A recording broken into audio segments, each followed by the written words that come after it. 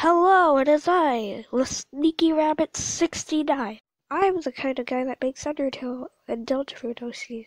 Here's to with me